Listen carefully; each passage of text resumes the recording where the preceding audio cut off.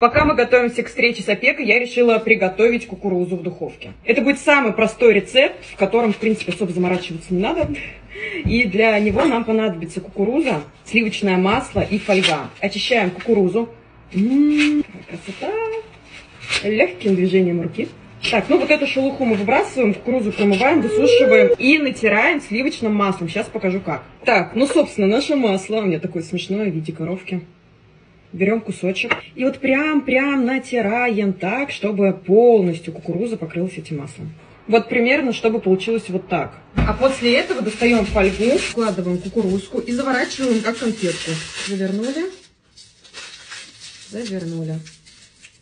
То же самое проделываем с остальными.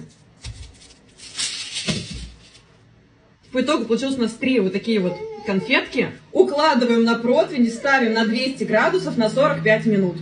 Вот такая вот красота получается на выходе. О, какой запах идет. Нужно теперь посолить и можно кушать.